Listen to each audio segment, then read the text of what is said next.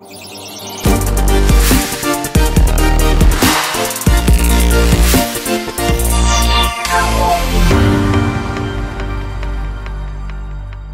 welcome on stage Gina Steiner.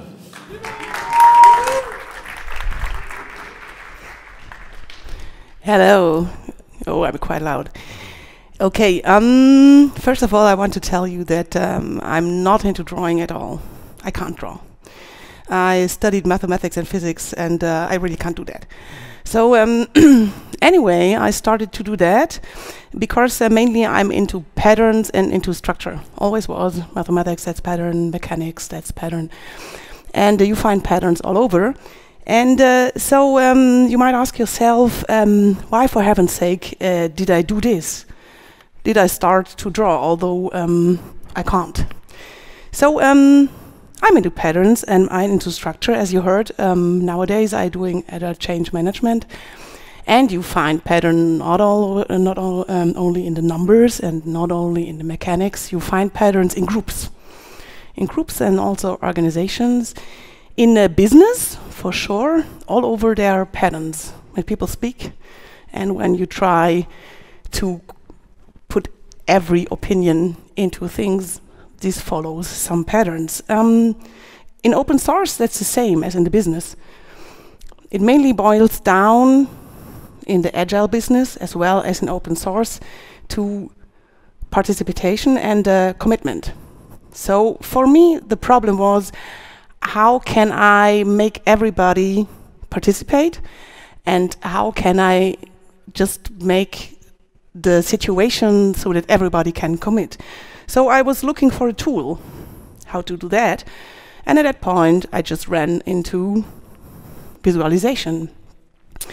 So um, when you visualize, um, you have to work on certain things and these are, for me, the most important things I can achieve with visualization. It's uh, about, um, does not work.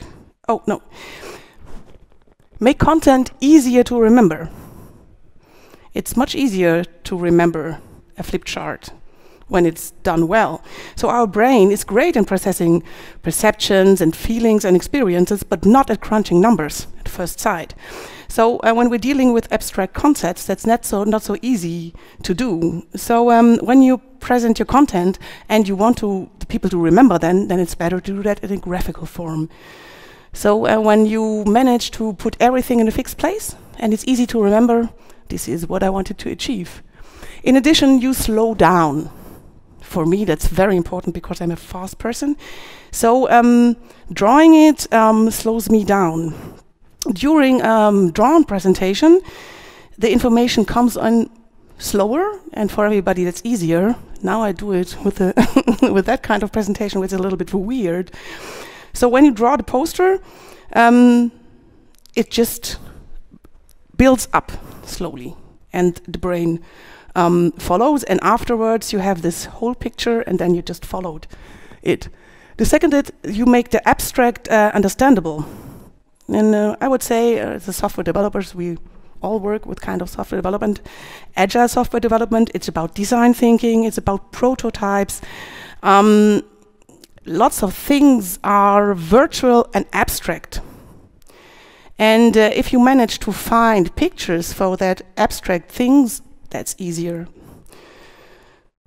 Next thing is um, you want to um, turn your presentation into a dialogue. If everything is already ready-made, it's not about a dialogue. It's just about I'm in the front and I tell you what it is the right thing. But when we start to talk and I am able to adapt my flip chart to the things you are telling me, then we are in the dialogue. So when you ask somebody, for example, the, the, the question, draw this production process on a sheet of paper, how many steps are there? What are the milestones? What are the greatest challenges? The person starts to think, you get into dialogue, and then you draw it down. So at that moment, you have the participation and you have the contribution, the commitment. Um, yeah, for sure, give the elephant in the room a voice. You know, the elephant in the room, these are things which are always there. They are loaded by conflict whatsoever. Nobody talks about it. And if you start to draw these things, especially conflict laden things, it's much easier for people to talk about them. So you can break down these taboos into some pictures, maybe a little bit funny, and then you just can jump over this fence and start to talk about the elephant. So, um, in addition, and this is especially interesting for the open source community, but for sure as well in agile business, um, when you are able to put the message out, your contribution is taken seriously here and is part of the solution, at that point, you are not a single person in the front. It's more like the you are in the back of the room and everybody is here working on the solution. So last but not least, and everybody who knows me knows that this is very, very important for me, um, you make people happy. You do something nice.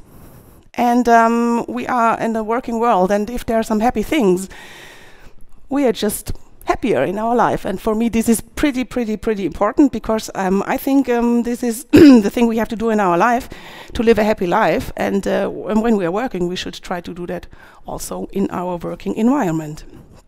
So when can you use visualization? Well, you might know these things, at least some of them. You can use them in uh, retrospectives, for sure, um, in workshops, you can use them in consulting by explaining, um, as well as in open discussions, whatever kind of discussions. That's a little bit more uh, demanding. For sure, you also can use it um, for storytelling uh, and as a single person for thinking. Some people need to write it down. It gets much clearer the moment they write them down. And as well, you can use it with visualization. And here it's a combination between writing and drawing.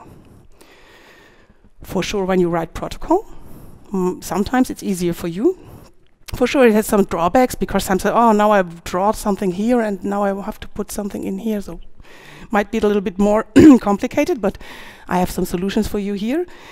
And um, you might know these uh, nowadays. Graphic recording is very interesting. I don't th uh, think we have a graphic recorder here, but on some conferences, I really see some very, very nice graphic recordings yeah. of the talks. So this is why I chose the tool visualization, just uh, in open source as well as in agile business, to get it going. So these are the things I wanted to achieve. So now are the seven easy steps how to do that. And um, so you want to make it easy to understand. It should be easy. So here are some basics. A line should be straight.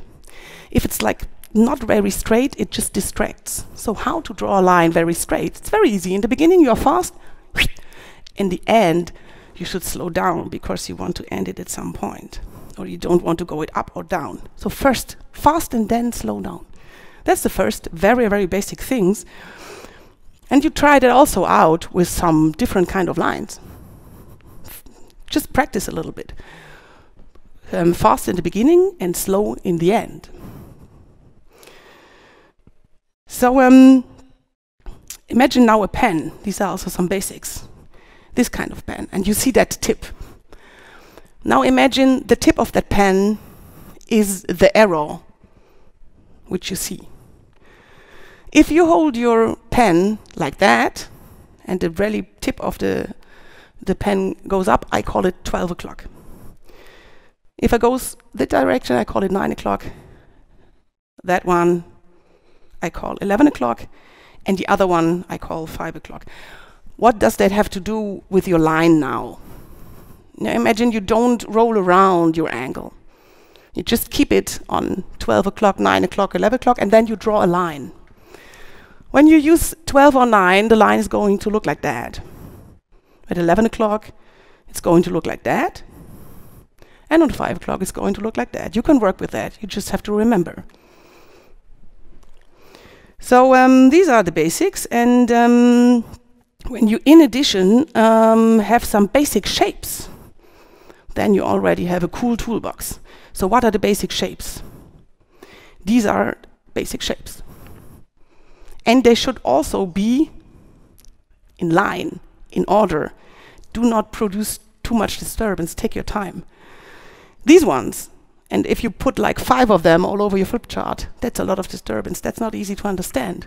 So the first of all is done because you didn't uh, draw every line individually. So draw every line individually. The other one was um, because you didn't close the corners. That's because you have, uh, you have been too, too fast on each line. So fast, but then the end slow, and then close the corners. If you do that, your shapes are much more uh, clear, and that's easier to understand. Here the same, if you're too fast, you can't close the circle. So fast in the beginning, it gets round, but in the end, slow down, and uh, so you can easily uh, draw a proper circle. And uh, with a wave, it's the thing that don't put so high amplitudes into the wave. Less amplitudes, that looks more clear um, in, on your flip charts. If you have these lines and these shapes in place, you can already build some interesting information. Oh, that does not work. That's a pity. Why?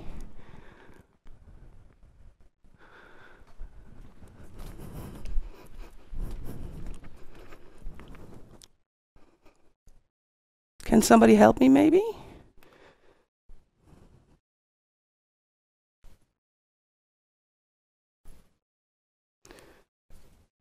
Das ist ein Film, der laufen müsste. Der wird nicht übertragen. Was ein Mist ist, weil ich komplett mit Filmen arbeite jetzt. Ah, okay, great. So here you have a circle, a line, some waves, and you see um, that you have to mind the proportions. The one balloon looks much nicer than the other one. And the last one, you see you have a circle, you an M and Z and an U. That's it, circle, M, Z, U.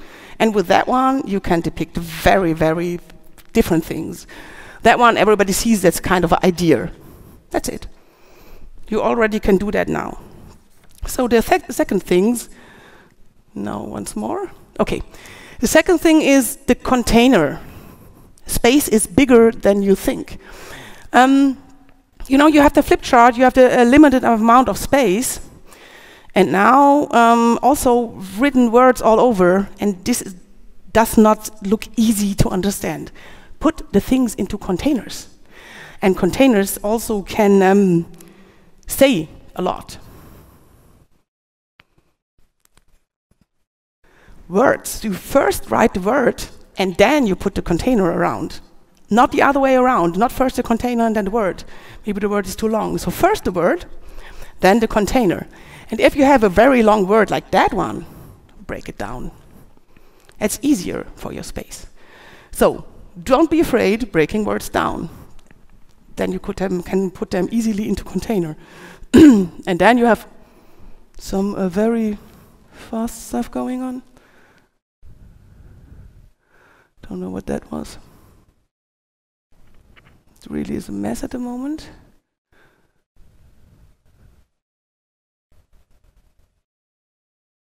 Okay.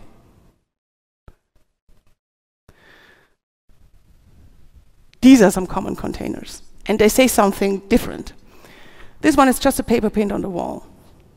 That's not a very, it's not a rule or something like that.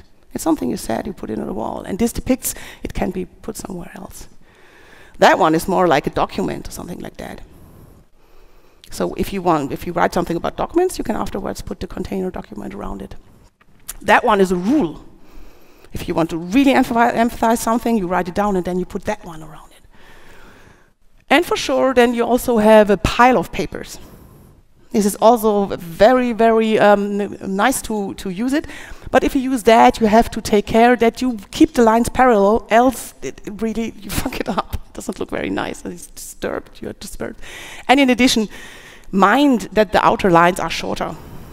So You also have round containers, and uh, then you can put some triangles on it. Then you say something. You can put dots on it, and you think something. You can uh, also work with clouds or something like that. Um, so practice some containers, and uh, they're really nice ones, which I really like to use. For example, that one, the flag. This goes well. This is the target. This is the goal, or something like that. You can really use that in a different lot of different ways. And I also like that one. It's a really easy one um, and you can depict steps instead of the numbers. You can word, you can write words in, and also um, that's like flexible in length. Very very easy. So if you um, now one of my favorite containers is the puzzle, and if you draw that one, you have just to mind the order how to draw that. Now I try to get the movie done. Yes. Okay. First you do the corners and then do two rounds. And you can de depict a lot of things because these ones depict, these two things are not fitting. Um, on the other hand, if you draw it like that, you not only have the container, it says, here it fits. So with that container, you can depict easily these two things are fitting, the other one's not. If you do a cloud, or um, uh, the other one with a, I don't know, also in the cloud, but that one, um, it's easy done when you do all of them fast, except of the last one.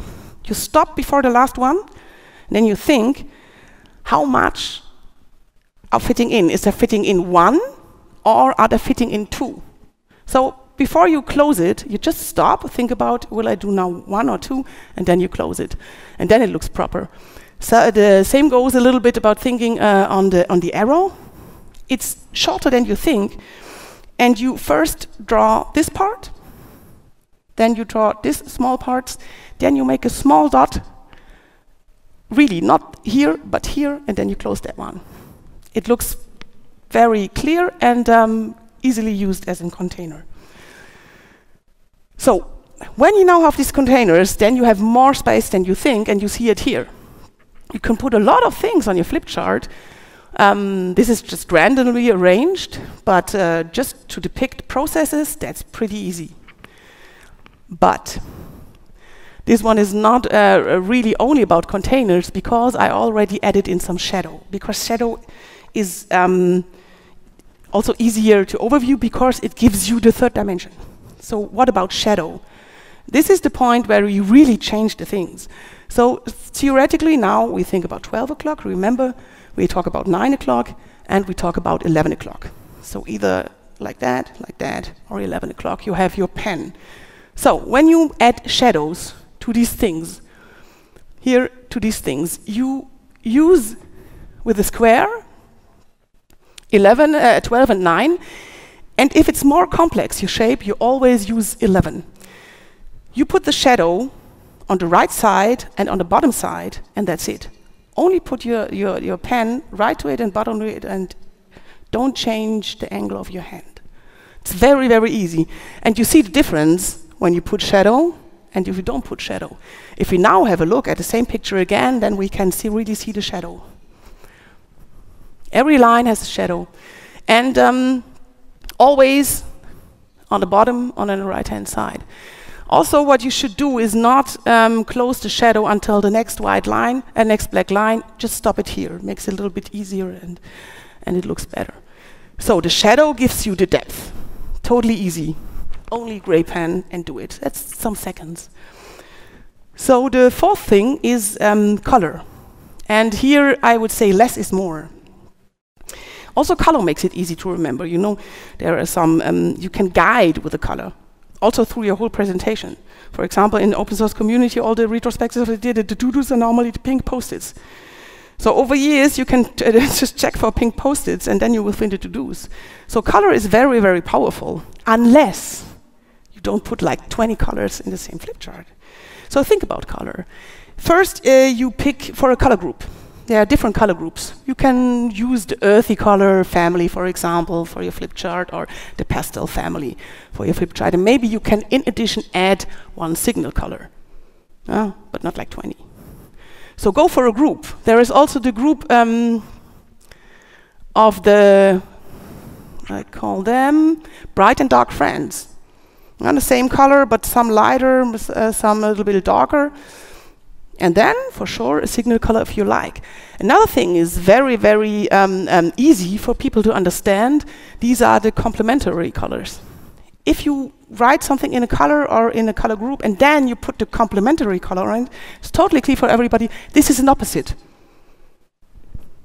You don't have to think about that. Just use the complementary color, and you know that from school, I'm sure. And sometimes you are in need of, yeah, well, I have a lot of colors already, what do I do now? Then you have everybody's darling. So I suggest you go to the store and you buy a gray pen, because gray you can add everywhere without disturbing anything. So this is about colors.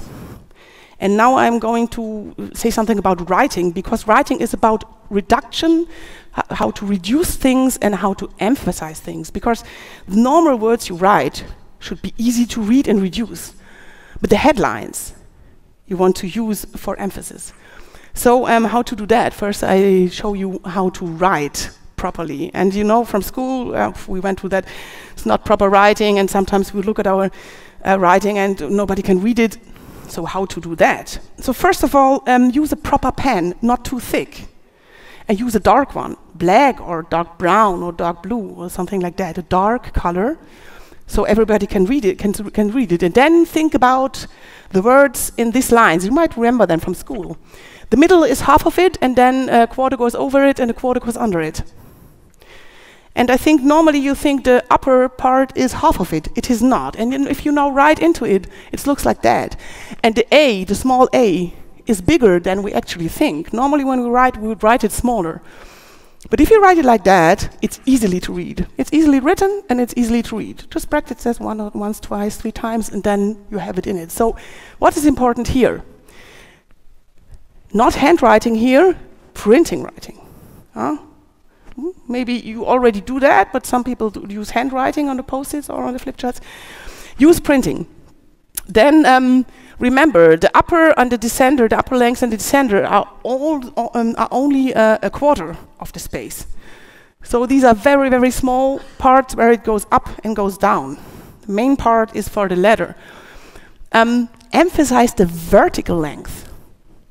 It makes easy to read. It gives you guidance that looks in order. It does not make you think. And for sure, think a little bit about the distances. The distance between the, uh, the letters should be, if you say the distance between the letter is one, then the distance between the words should be something like three. You can write really a lot of words into container if you do it like that, and it looks in order. So this is about the reduction. But what about the emphasis? No? How, when you want to emph emphasize things, you do printing. But a good thing, for example, is to double the first line. Go for printing, double the first line, that's it. If you, if in, in addition, strengthen the word a little bit, like in the second line, it gets another feeling, huh? it gets a lighter feeling. The third, I just moved the middle line a little bit to the top.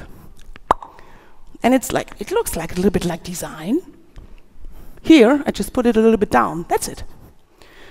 And if you then have a little bit time, and this is really easy, you can color it in different ways. Well, that's very colorful, but I just wanted to show you what things you can do. I wouldn't use all the colors in the same headline. So this is about the easy headline. You can do that while, while uh, drawing. And this is the emphasis, this is what a flip chart is about. Every flip chart should have one headline to know what it is about. Here you have the things, you can color it, make it lighter, move it to the top, or move it to the bottom. And then you have the handwriting. If you have time to prepare your flip chart, um, then you want maybe want to put a nice fancy um, headline over it. Uh, you get some oohs and some ahs. You need some time a little bit to uh, do that, and now I show you how you do that in the movie.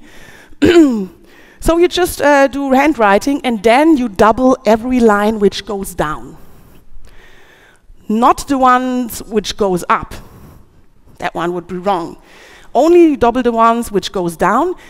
And um, if you, you might uh, uh, use a steady baseline if you like, but you also can use a dancing baseline. It's very easy. You just draw it uh, um, before the dancing baseline and then you go with the handwriting. And then you can fill it up in the same way which you did uh, with the other headlines. Yeah, we can go on here, but maybe I, we can also skip. Uh, this is the interesting thing with the dots. I really like the one with the dots, which is going on now on here, the blue ones. But you see that it takes long time if you use a, a pen which has a very, very uh, pointy tip. It is much, much easier if you then switch the, the, the pen and uh, then um, you fill it up uh, faster. So um, the next will be about templates. I think I can skip that. You get the, how it works. So now it's about templates and about speeding up. In the in whatever some retrospectives like one and a half hours, and you need to take a lot of things. So maybe uh, you get good guidance by using some templates. So a template, you can prepare that, and you can use it for a lot of things. You just leave some space empty, and afterwards you fill it up. You bring your ready-made template, and during whatever happens, you only know this kind of amount of steps I have, and then you just fill it up. You can find templates a lot all over the internet, and this is how they looked, look like when they're not filled, and the other ones are after you did your retrospective. So this speeds you up significantly. Google it. And last but, but not least, that's the seventh steps, is um, icons don't make me think. Like I said, icons are speeding up a lot because all the things which you see are then in your mind without writing anything. So, um, you know, icons, they should be easy. You already see here um, when you put shadow, that's really an enhancement.